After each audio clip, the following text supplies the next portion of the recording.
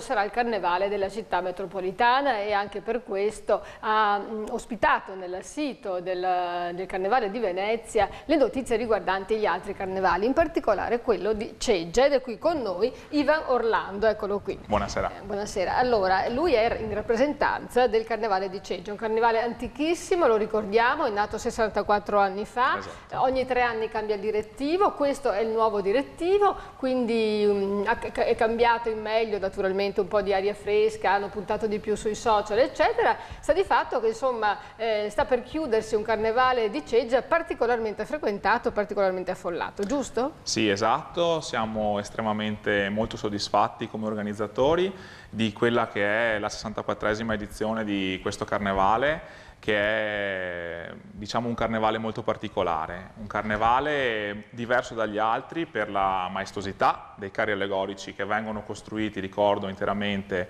eh, nel paese di Cezza, da parte di cinque compagnie eh, in gara tra e di loro. E che sono alti come palazzi. Alti come palazzi, esatto. Questa è forse la particolarità che non troviamo invece qua, in altri. che infatti vediamo le immagini. Esatto. E la cosa bella è che il Comune ha messo a disposizione un capannone proprio per costruirli. Esatto, no? il Comune ha negli anni finanziato la costruzione di, di questo capannone all'interno del quale queste cinque compagnie costruiscono i carri allegorici per poi sfidarsi a febbraio durante le tre sfilate del, del carnevale. Certo, allora 6.000 anime e 1.000 persone ci lavorano su questi carri che sono tutti a tema, i temi vengono scelti eh, più o meno in agosto, certo. eh, si cominciano a smantellare i carri dell'anno precedente in settembre e poi alla cittadinanza vengono proposti i bozzetti in gennaio. Esattamente, diciamo che l'iter parte proprio a fine agosto quando le compagnie dopo le vacanze estive si ritrovano e decidono qual è il tema per l'edizione successiva.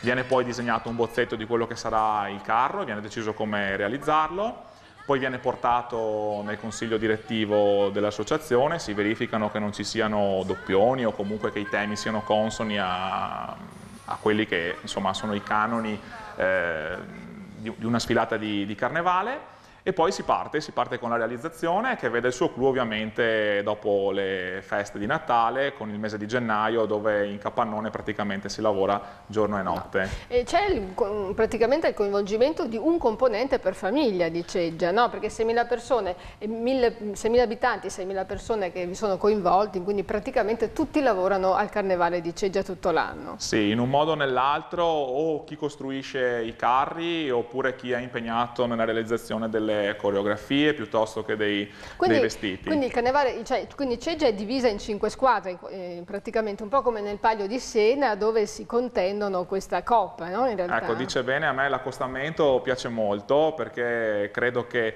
comunque sia una competizione che all'interno del paese è, è, molto sentita tra queste cinque compagnie. Ricordo che c'è anche un, un, sesto carro che è fuori concorso, ma ormai è eh, una trentina d'anni che fa parte della tradizione del Carnevale di Cesa, che è appunto il carro della scuola materna Caritas Christi nel quale appunto i genitori dei, dei bambini si cimentano nella costruzione del carro. Chiaro. Ecco, la cosa bella di questo carnevale quest'anno è che avranno tra l'altro un personaggio d'eccezione che consegnerà il premio che sarà consegnato domani sera, no? martedì grasso, cioè Luca Zaia. Quindi un riconoscimento che insomma eh, piace a Ceggia perché Ceggia aspira a diventare un carnevale regionale. Eh, la nostra aspirazione, il nostro desiderio e anche un po' diciamo, l'ambizione è quello di far crescere il nostro carnevale da un carnevale territoriale eh, comunque Punto già famoso. Punto di riferimento sì, del Veneto orientale. Certo, no? a un carnevale eh, regionale per poi spingerci chissà dove. Noi speriamo di diventare un carnevale famoso in tutta Volete Italia. Volete fare concorrenza al Carnevale di Venezia?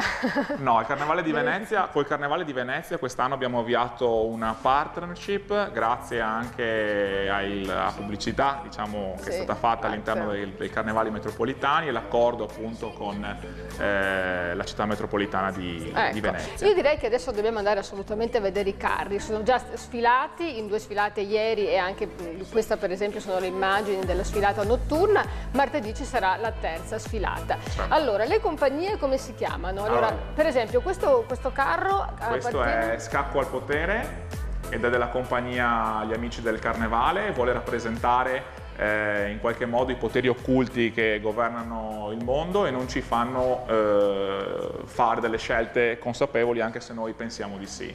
Ecco, vedo che poi ci sono anche dei gruppi mascherati tra un carro e l'altro perché in fondo si tratta soltanto di cinque carri. Vediamo se magari, eh, ecco questo... Eh... Ecco, questo è il carro di Riva Zancana, abbiamo tutti perso la memoria che come si può vedere è ispirato al, al film, alla ricerca di Dori e questo è molto piaciuto ai bambini ovviamente per il, per il tema.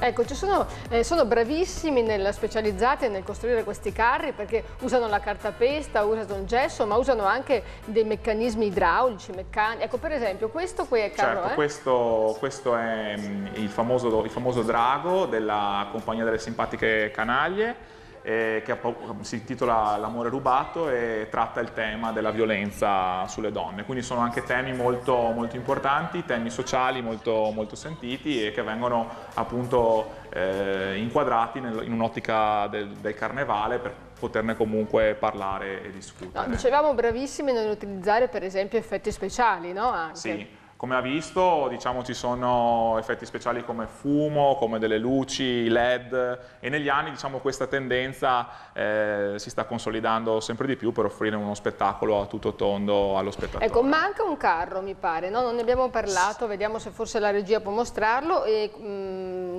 sempre più giù forse, no? Sì, esatto, sempre, sempre più giù che parla del tema dell'inquinamento ed è rappresentato da, da questo sub che va sempre più giù in fondo al mare e trova il, mare deturpato. Poi ne manca un altro che abbiamo intravisto prima, che è quello dei eh, Ventenni Revolution, che invece è un omaggio alla cultura italiana nel mondo ed è rappresentato da un arcimboldo, questo Dario Fo, che come un nonno legge le storie al nipotino. Beh, io direi di andare a vedere un po' come è andata anche a Mestre e poi magari se avanza del tempo continuiamo a parlare di Ceggia. Volentieri.